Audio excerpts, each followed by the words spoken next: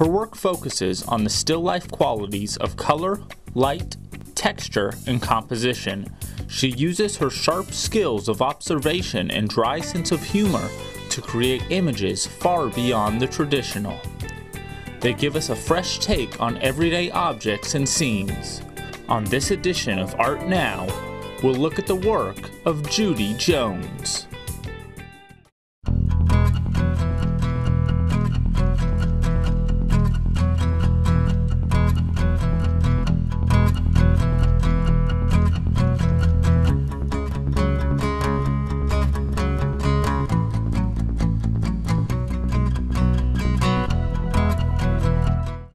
Hi, welcome to Art Now, a program where we talk to artists whose work is part of our community. I'm Pat Sammann, and I'll be your host. Our guest today is the painter Judy Jones. Judy's academic career began with a bachelor's degree in English, followed by bachelor's and master's degrees in art history. When she moved to Champaign Urbana, she continued her graduate work in art history, then received a master's in library and information science. Judy worked as an events coordinator and publications editor at the University of Illinois, then retired in 2000 and began taking art classes at Parkland College. Judy's art has been shown in many area venues, including Parkland College, the Illini Union, Heartland Gallery, the Art Co-op, the Cinema Gallery, and the Tarble Arts Center. It also has been included, included in national exhibitions by the Transparent Watercolor Society of America and Watercolor USA. She has won a number of awards, including Purchase Awards from Parkland College and the Tarble Arts Center, and several Best of Show Awards in the Paris, Illinois Paint Illinois exhibitions. Judy also is a member of Artisans Plus 10, a group of women artists in Champaign Urbana. Judy, thanks for being with us today. Thank you for having me. Sure. Uh, let's start out by having you tell us a bit about how you first got interested in art. Um, it's kind of hard to say when I first did. I think I've always been interested in art um, in some capacity. Um, I've always been a person who enjoys doing things with my hands as opposed to thinking. Um, and I, much of that stuff that I made early on probably could not be considered art exactly. Mm -hmm. But um, it was related to my later interest in painting, I believe. Um, I got interested in painting actually after I switched my major um, from English to art history and um, went into graduate study in art history. I thought that I should um, know a little bit about what artists were going through when mm. they were making their work. So I thought it would be a good idea for me to take some courses, some practical courses in drawing and painting and, and so on. So that's when I actually started um, doing practical arts. Um, I took several courses at the University of Wisconsin in drawing and painting, and um, I uh, continued to do that um, when I had time, raising two children and holding a full-time job. Okay. Uh, in your artist statement, you mentioned that after you retired and began start, studying at Parkland, uh, your one goal was to render the world realistically. Uh, can you say more about that? Well, when I was taking these courses that I just mentioned, I was always very dissatisfied with how realistic, quote unquote, I was making things. And um, I realize now that that's not a particularly worthy goal, that there's plenty of wonderful art that's not realistic. But at that time, I thought that that was the way I wanted to go and that that was the important thing to do. And um, so when I went to Parkland, that's um, what my main goal was when I started out. It mm-hmm. didn't always stay my main goal. Sure. Okay, you've said that you really see yourself as a still life painter, even though you don't paint traditional kinds of still life subjects. Uh, let's look at some of your work now and see what kinds of subjects you are attracted to and what about them makes you consider them still lifes.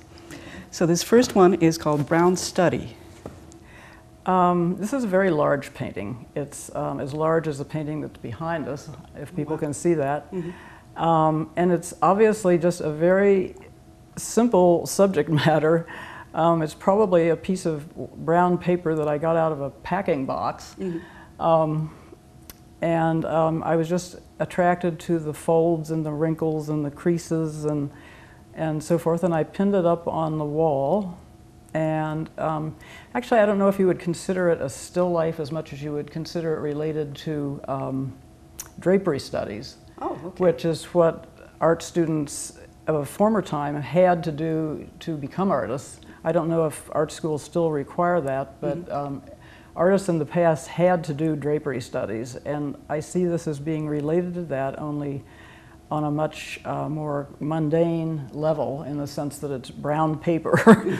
in fact, my, some of my friends said, What in the world are you doing spending money and time painting this subject? Who's going to put that up on their wall?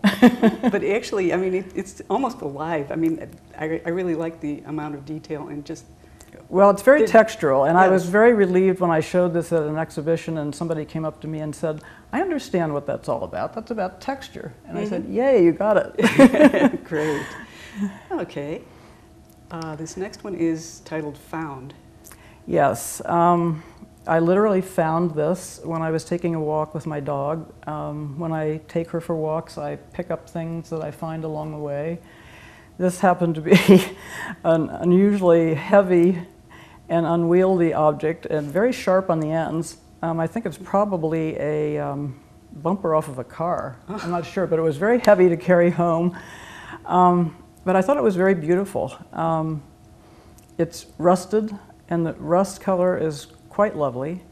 Um, it also could be hanging on the wall, but it was just too heavy to do that. Um, so I think it really is a still life object, um, although one of some difference from, you know, a vase of flowers or a Right. bowl of fruit. Right. Okay. Uh, the next three images we're going to look at uh, seem to anthropomorphize sticks. How did you come up with that idea? Well, again, as I was walking, um, I picked up sticks, among other things. And unfortunately, I don't know what kind of sticks these are, but I was very attracted to them. I will show, because of these very knobby ends that they have, I thought that these were very sculptural and would be very interesting to draw or paint. Mm-hmm. And um, they, as I brought them home and looked at them, they began to look like monsters or creatures of some sort to me.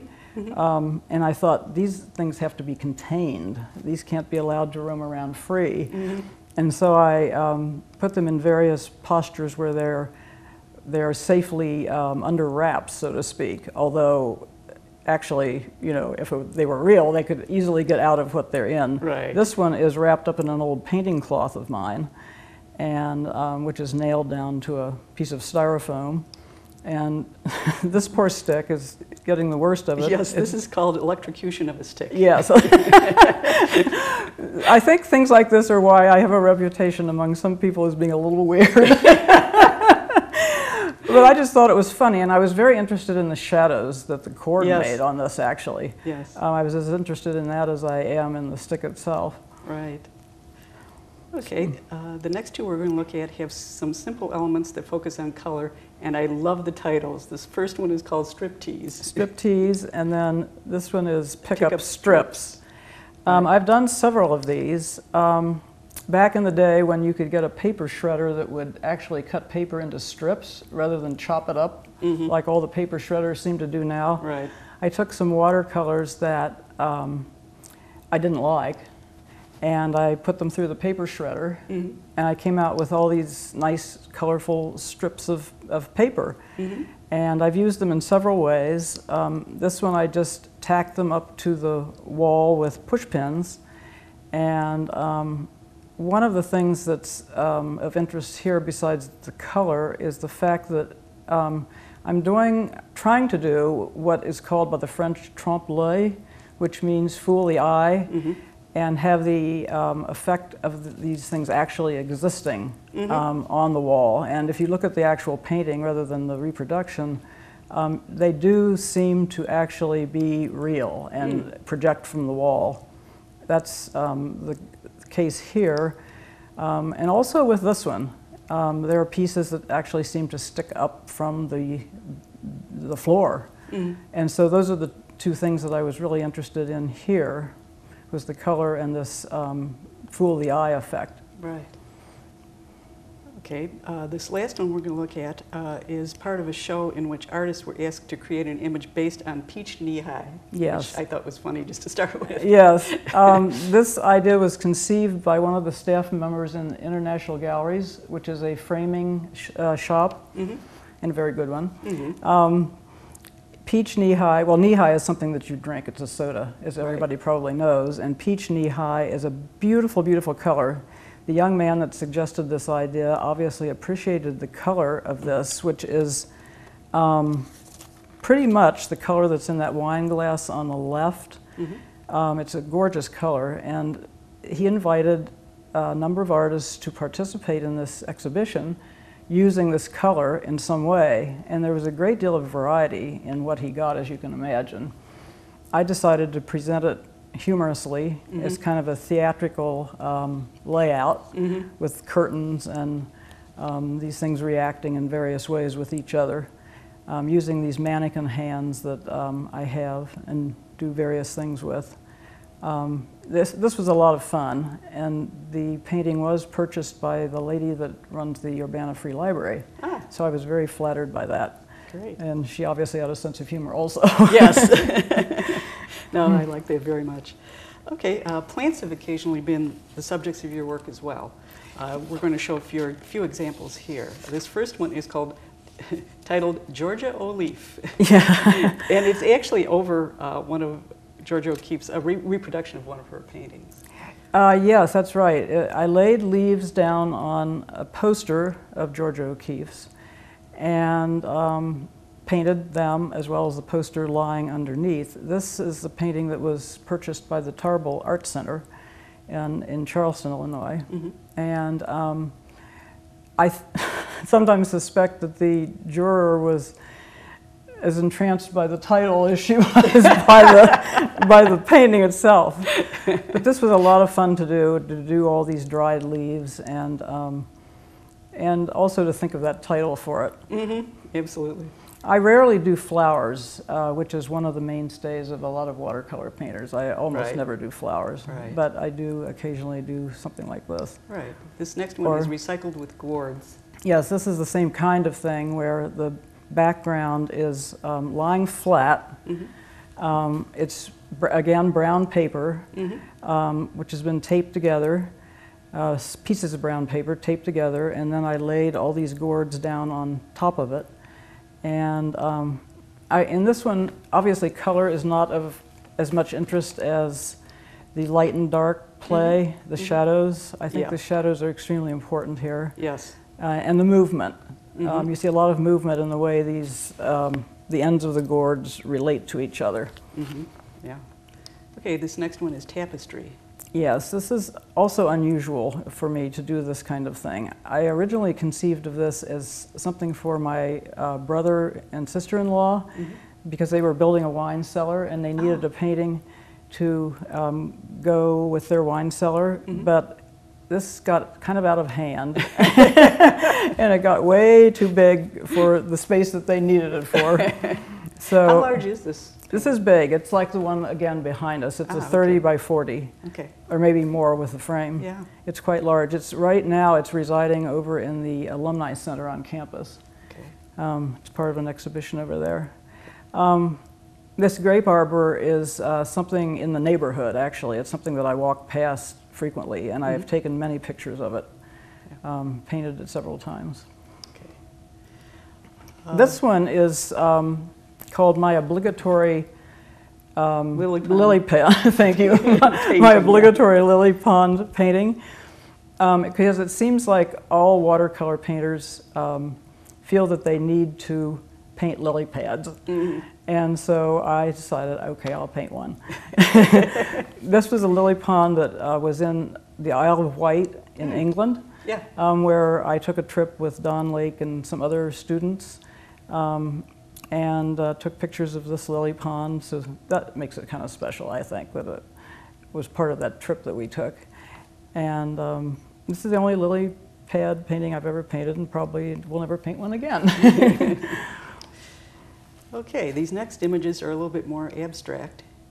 Uh, this one is houseplant Profligate. Profligatus, Thank you. which is a word I made up. It means prof, profligate houseplant, and it, which doesn't well mean named. it doesn't mean that it's a sinful um, uh, houseplant, which I think is what profligate means sometimes, but it's sort of out of control. It was something that got extremely large.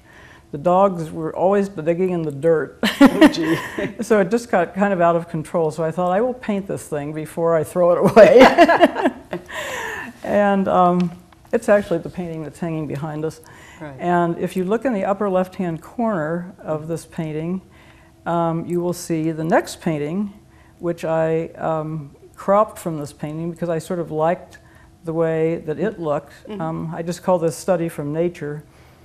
Um, I have to say, I, I don't often brag about my paintings or say that I really like them, but I really do like this painting. um, I would like to paint more in this style, this kind of semi-abstract style where you can still tell that it's based on natural forms, but um, there is an abstract quality to it. Um, and I put a border around it, which I decided I really like to do. I may do that some more. Yeah, I like that too. Mm-hmm. Okay. This- and this one is Pomegranate Murder. Yes, again, Again, I like the title. Yes, again, a title which is designed to grab the attention. Right. um, you probably know that when you cut into a pomegranate, the juice is very bright red and Mm. um, it looks like blood. I'm sorry, it just does. and I just thought, um, I'm going to paint that and with a, leave the big butcher knife that I use in there. Mm-hmm. And actually, that butcher knife appears in some of my other paintings, again, making people think that maybe I'm a little strange. but I love the color in this and um, the shapes of the shadows, which more or less echo the shape of the butcher knife, hmm actually. Yeah. Okay. Uh, we're going to move on now to uh, some other outdoor scenes that you've brought your still life sensibility to. Uh, this first one is called Left to Rust. Um, this is one of, of very few, actually, I've painted two landscapes that are typical landscapes like this, mm-hmm. with a horizontal format and a lot mm-hmm. of attention given to the sky mm-hmm. and so forth. I just, strangely, I, I, it amazes me that I don't pa- want to paint landscapes because Don Lake was my teacher, Right. and he's, of course, is a consummate landscape painter. Right. But for some reason, I just am not interested. And to be honest, what was interesting to me in this landscape was that orange machine out there in the middle, and especially those sort of aqua blue windows in it, which mm-hmm. I did overemphasize maybe the color a bit, but I thought it was so pretty. That color against the orange of the machine. Mm-hmm. And then I kind of got into the sky, and I thought maybe s- Yeah. someday I'll want to do more things like this with skies. This next one is called Ticky Tacky Houses. Ticky Tacky Houses, yes, that was in a song from the 60s Right. by the Beatles. I'm not sure. Oh, it wasn't the Beatles. I think it was a folk group. But Yeah, anyway, anyway, Ticky Tacky Houses is how I think of these houses. And I live in one of these, not one of these houses here specifically, but I, I live near this subdivision which was being built. My daughter actually took the photograph that this painting is based on, and I just love the way this big machine totally dominates the landscape. And um, I did emphasize the sky and the storminess of the sky and the dark color. And I also emphasized the similarity among all those houses. They weren't really that similar, but they are kind of ticky tacky. Right. And yeah, yeah. Uh, this is called One Way, uh, Chicago L. right. Yeah. Um, and I think again, probably I would say there's a still life uh, focus being brought to this because it's a cityscape, although the city is not as important as that big L, that big yellow thing.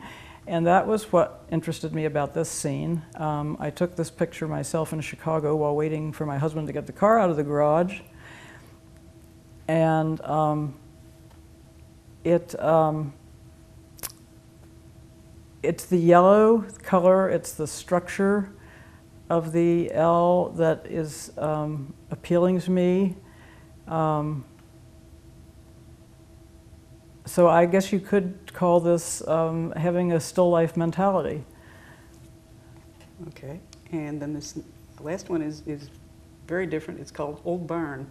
Again, I could probably call this my obligatory old barn painting. Yeah, but it's different from most. it is a subject, again, that watercolor painters like to paint, and almost everybody that does watercolors has at some time or another painted an old barn. Um, I took a lot of pictures of this old barn, which I happened to just see one day as I was driving, I think along Route 29. Um, and this was the one that appealed to me most. Um, color is the main thing here. This was a complementary color painting, the Mhm. blue and the yellow um, being complementary colors. And um, so that was what I was mostly interested in here was the color, uh, but also the light and shade. It plays a very important role in this painting. Right. Okay, and this last one we look at is not an outdoor scene, but it kind of brings together indoors and outdoors. Um, when Jamie Cridenier was teaching watercolor at, at Parkland after Don Lake retired, Mhm. she gave us an assignment called Sacred Places or Sacred Spaces. Mhm. And to me, that implied a church. and I don't go to church. Yeah, yeah. So I started thinking about other kinds of spaces that were not necessarily sacred, but very um, sanctuary-like, Mhm. protective, and so forth. And this was a scene in my daughter's apartment. She bought these uh, very attractive draperies someplace. And so I thought that would make a nice contrast with the um, scene outside, which is very chilly, painted in um, cool colors, blue and purple and white, uh, against the reds and yellows of the interior. And it, to me, it's a very comforting, warm, safe looking place. It's Mhm. um, actually, I call did you mention I called No, this Haven? Haven. Haven. Yes, yes. and, and I can feel that. I mean, I Mhm. really think you did a good job of getting that feeling Mm-hmm. across. Okay, uh, finally, we're going to look at some paintings of figures and animals that you've done from unusual perspectives. All right. This first one is Best Friends. best friends. Um, this is my daughter and one of her huskies.